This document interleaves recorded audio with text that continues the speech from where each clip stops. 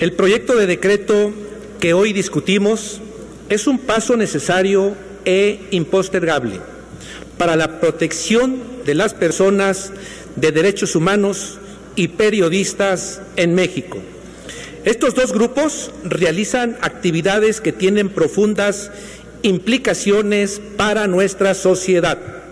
Mientras los primeros llevan a cabo una labor de defensa de los derechos humanos, al representar a personas y grupos en situación de vulnerabilidad, los periodistas ejercen la libertad de expresión difundiendo información que permite a la sociedad tomar decisiones. Actualmente vemos con preocupación la situación que enfrenta nuestro país, así como la omisión con la que se conducen las autoridades ante el aumento de agresiones contra estos dos grupos. Es sumamente grave que México se haya convertido en uno de los países más peligrosos para ejercer estas actividades.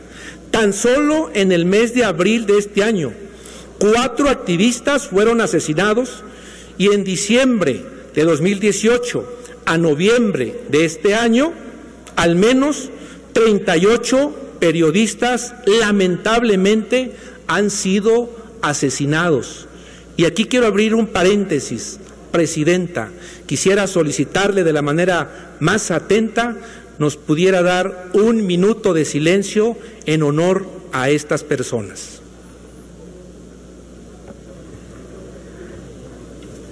Adelante, diputado. Se concede el minuto de silencio solicitado por el diputado Roa por los periodistas que han fallecido en esta y que, y que él los ha mencionado.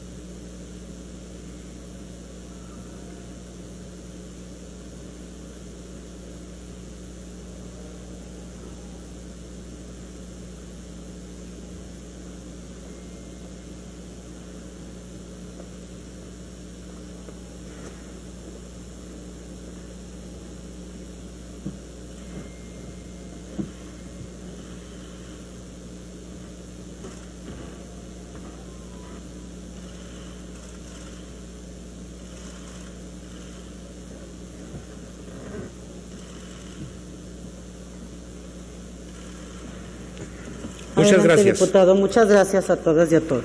A pesar de estas cifras, en octubre pasado eliminaron el fideicomiso que financiaba el programa que protegía a periodistas y defensores de derechos humanos amenazados, que ha beneficiado a más de 1.300 personas que se encontraban bajo esta amenaza.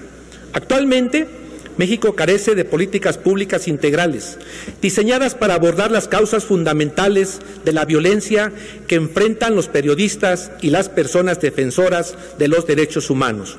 Por lo anterior, esta soberanía tiene la obligación de proteger y garantizar que estos dos grupos puedan trabajar sin temor a represalias. Por ello, es fundamental la consolidación de un marco normativo que solvente las insuficiencias de protección del actual mecanismo federal.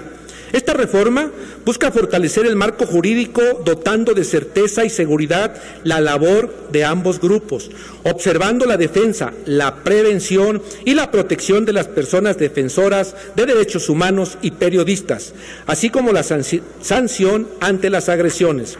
Se fortalecen las bases de cooperación entre la Federación y las entidades federativas para implementar y operar las medidas de protección, medidas preventivas y medidas urgentes de protección que garanticen la vida, integridad, libertad y seguridad de las personas que se encuentren en situación de riesgo como consecuencia de la defensa o promoción de los derechos humanos y del ejercicio de la libertad de expresión del periodismo.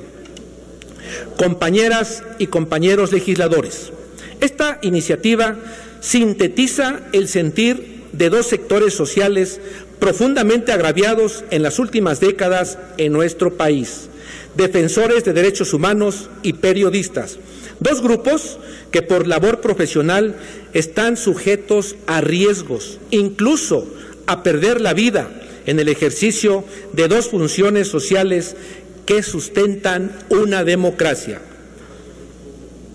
Sin periodismo, nuestra democracia se fractura. Sin defensores de derechos humanos, se pone en riesgo las libertades y garantías de los sectores más vulnerables de la población. Esta reforma reconoce el valor y dignidad de todas y todos aquellos que día a día hacen periodismo y defienden los derechos humanos. Respetar y garantizar los derechos humanos, además de ser una obligación constitucional, es una vocación y un compromiso irrenunciable. Es todo, Presidenta.